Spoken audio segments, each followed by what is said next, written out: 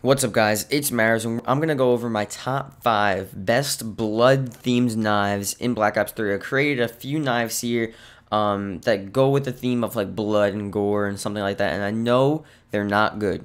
Just just save your time. They're not I know they're not good. Just you know, it's okay. You can comment below say you suck. I know I suck. Just I'm showing you guys my creations here, my top 5 blood knives. Here's the sixth one. I have 5 more here. Um, I have a Pamaj one. That's not in the video, but there you go, Pamaj. okay, let's just start. I don't know what I was doing here. I don't know what my thought process was of making this. And I was like, okay, teeth. This literally looks like a mouth. I don't even know. This is the sixth one, whatever. This is a top five, though. We're to go over this one. This one's actually pretty nice. I'm going with, like, the alien type theme. Like, you know, like the pink, like, alien blood or something. It reminds me of, like, Extinction or something like that. I don't know. So that's pretty cool. Um, now we have these two. These two are sort of together. Um, it's got the same sort of effect. This one's like the lightning red one. Um, not really like a blood effect, but more of just like a streak of blood, I would say. I don't know. It looks pretty cool. I like it. It's nice and it's pretty fresh. I don't know. This one's pretty cool. It's like the little fire thing.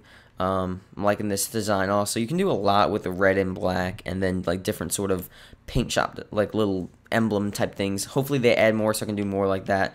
That's pretty cool. Obviously we have those two, and then we have the, this one here. This one's pretty sick. It's like the blood splotches and stuff like that, and then you can see like the black also.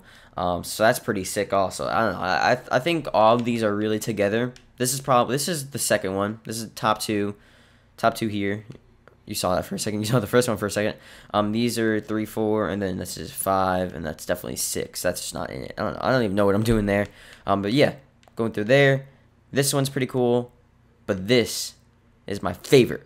And I know this is pretty simplistic here, but just look how I did this. It's just, I just like the idea of it. You know, I did a little gradient sort of thing and these little splotches here. It looks like Spider-Man, but like cool Spider-Man, you know?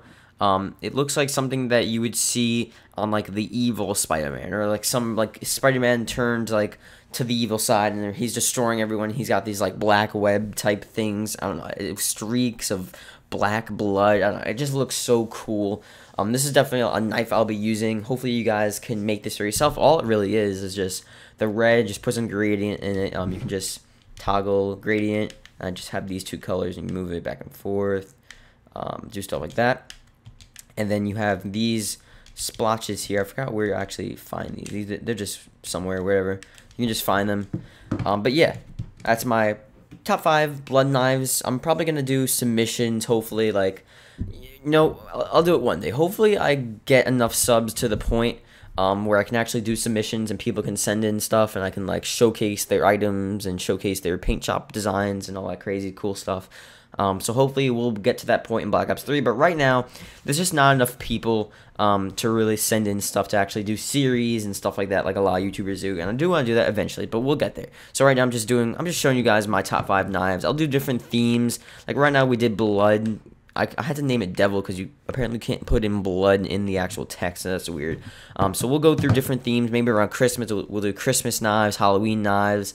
You know, each holiday as it rolls around, we'll do stuff like that and then um, we'll just do different themes in general. Whatever I think of, whatever sort of thing I can actually make. Hopefully, I can make really cool knives um, sooner or later. These are decent. They're not that bad, honestly. They're really not that. This one's terrible. I'm gonna delete this actually. That one's really bad.